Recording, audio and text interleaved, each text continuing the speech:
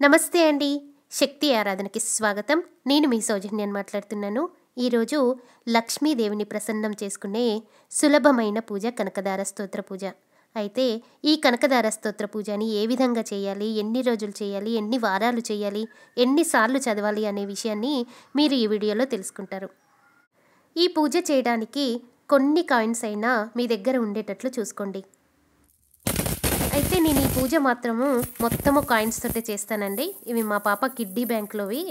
నేను అలానే పూజకు ఉంచేశాను. ఎవరైతే తెల్లవారుజామున పూజ చేస్తారో వాళ్ళు కనకదార స్తోత్రం తప్పకుండా చదువుతారు కదా?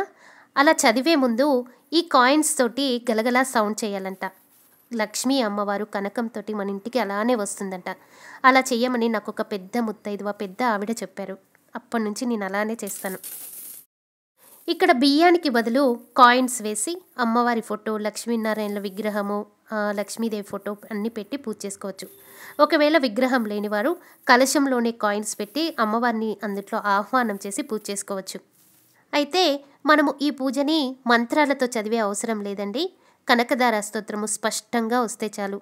అయితే పూజకు ముందు విష్ణుదేవుడికి అష్టోత్తరం చేసి ఈ పూజను ప్రారంభిస్తే చాలా మంచిది.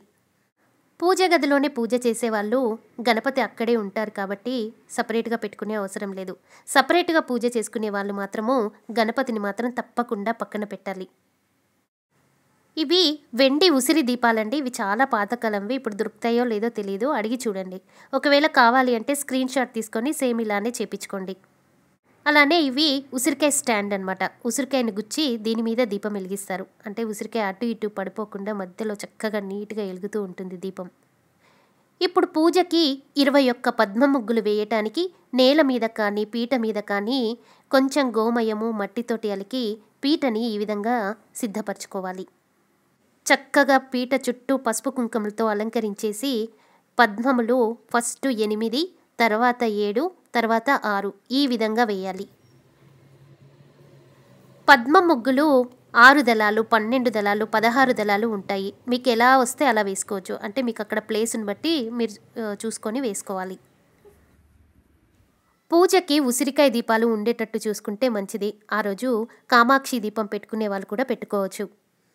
కనకదార స్తోత్ర పూజ చేయటం వలన ధనానికి ఎటువంటి లోటు ఉండదు. అంత శక్తివంతమైన పూజ. ఈ కనకదార స్తోత్ర పూజని ఇరవై ఒక్క శుక్రవారాలు చేస్తారు లేదా ఇరవై ఒక్క రోజులు కంటిన్యూగా చేస్తారు. ఈ పూజ చేసేటప్పుడు కనకదార స్తోత్రాన్ని తప్పకుండా మూడుసార్లు పఠించాలి. అలానే ప్రతి నిత్యము చదవాలి అనుకున్నప్పుడు ఈ కనకదార స్తోత్రాన్ని మూడుసార్లు పఠిస్తే గనక అమ్మవారి దయవలన ఆ ఇంట్లో ధనానికి ఎటువంటి ఇబ్బంది పడకుండా ఉంటారు.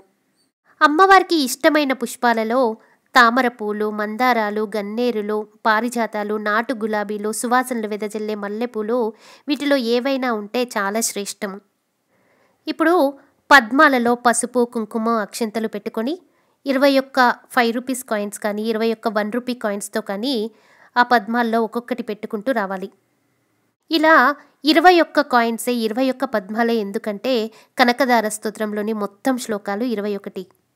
ఇలా ఒక శ్లోకం చదివి ఒక పద్మం దగ్గర పూ పెట్టాలి. ఇంకో శ్లోకం చదివి ఇంకొక పద్మం దగ్గర పూ పెట్టాలి. ఇలా ఇరవై ఒక్క శ్లోకాలు చదువుతూ ఇరవై ఒక్క పద్మాలకి పూజ చేయాలి. ఇలా మూడు సార్లు చేయాలి. ఎవరికైనా కనకదార స్తోత్రము చదవడానికి కష్టం అనిపించే వాళ్ళకి నేను తెలుగు టెక్స్ట్ని డిస్క్రిప్షన్ బాక్స్లో ఇస్తానండి. అది చూసి చదువుకుంటూ నేర్చుకోండి. చాలా ఈజీగా వస్తుంది. కనకదార స్తోత్రంలోనే గణపతి శ్లోకం ఉంటుంది కదా? అది చదివిన తర్వాత కనకదార స్తోత్రం స్టార్ట్ చేస్తాను. వందే వందారు మందారమిందిరానంద కందలం అమందానంద సందోహ బంధురం సింధురాననం అంగం హరేః పులకభూషణమాశ్రయంతి భృంగాంగనేవ ముకులాభరణం తమాలం అంగీకృతాఖిల విభూతిర పాంగలీలా మాంగల్యదాస్తు మమ మంగళదేవతాయా ముగ్ధా ముహుర్విదదతి వదనే మురారేః ప్రేమత్రపా ప్రణిహితాని గతాగతాని మాలా దృశోర్మధుకరీవ మహోత్పలేయ సామే శ్రియం దిశతు సాగర సంభవాయాః.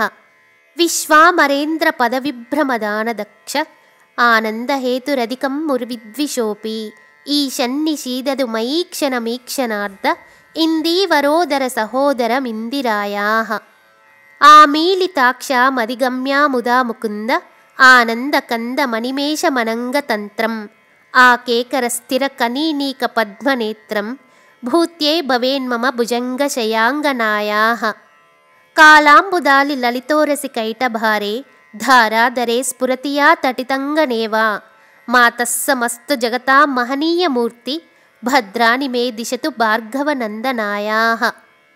बाह्वन्तरे मुरजितः श्रितकौस्तुभेया हारावलीव हरिनीलमयी विभाति। కామప్రద భగవతోపి కటాక్షమాల కళ్యాణమావహతు మే కమలాలయాయా. ప్రాప్తం పదం ప్రథమతః ఖలు యత్ప్రభావాత్ మాంగల్యభాజి మధుమాధిని మన్మధేన మయ్యాపతే తదిహ మందరమీక్షణార్థం మందాలసం చ మకరాలయ కన్యకాయా. దద్వాద్దయానుపవనో ద్రవిణాంబుధార అస్మిన్ కించ నవిహంగ విహంగ శిశౌ విషన్నే दुष्कर्मघर्ममपनीयचिराय धूरं नारायणप्रणयनी नयनाम्बुवः। इष्टा विशिष्टमतयो पिनरामयाध्रा दृष्टास्त्रिविष्टपपदं सुलभं भजन्ते। दृष्टिः प्रहृष्टकमलो दरदीप्तिरिष्टां पुष्टिं कृशिष्टमम पुष्करविष्टरायाः। गीर्देवतेति गरुडध्वजसुन्दरीति शाकम्भरीति शशिशेखरवल्लभेति सृष्टिस्थितिप्रलयकेलिषु संस्थिताय तस्यै नमोऽस्त्रिभुवनैकगुरोस्तरुण्यै श्रुत्यै नमोऽस्तु शुभकर्मफलप्रसूत्यै रत्यै नमोऽस्तु रमणीयगुणार्णवायै।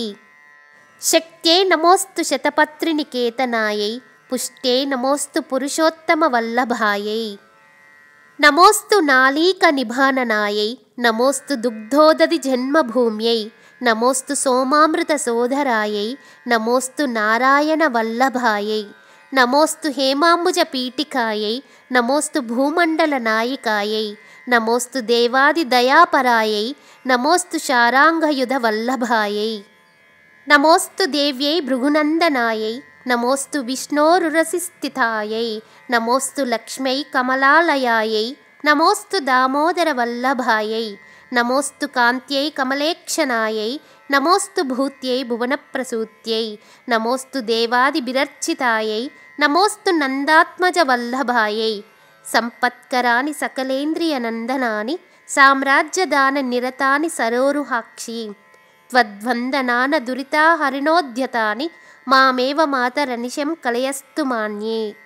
यत्कटाक्षसमुपासनाविधिः सेवकस्य सकलार्धसम्पदः सन्तनोति सन्तनोतिवचनाङ्गमानसैस्त्वां मुरारीहृदैश्वरीं भजे सरसिजनयने सरोजहस्ते धवलतमांशकगन्धमाल्यशोभे भगवति हरिवल्लभे मनोज्ञे त्रिभुवनभूतिकरिप्रसीद मह्यं दिग्धस्तिभि कनककुम्भमुकावसृष्टसर्वाहिनी विमलचारुजलाप्लुताङ्गीं प्रातर्नमामि जगतां जननीमशेष जननीमशेषलोकादिनादगृहिणीममृताब्धिपुत्रीम् कमले कमलाक्षवल्लभे त्वं करुणापूरतरङ्गितैरपाङ्गैः।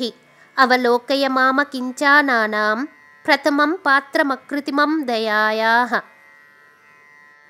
स्तुवन्ति ये स्तुतिभिरमूभिरन्वहं त्रयीमयीं त्रिभुवनमातरं रमां गुणादिकगुरुतरभाग्यभाजिनो भवन्ति ते भुवि बुधभाविताशया। సువర్ణధారా స్తోత్రం యశ్చంకరాచార్య నిర్మితం త్రిసంధ్యం యపటే నిత్యం సకుభేరసమో భవేత్. పూజ అంతా అయిపోయిన తర్వాత ధూప దీప నైవేద్యాలు సమర్పించి హారతి ఇవ్వాలి. జై శ్రీమన్నారాయణ. స్వస్తి.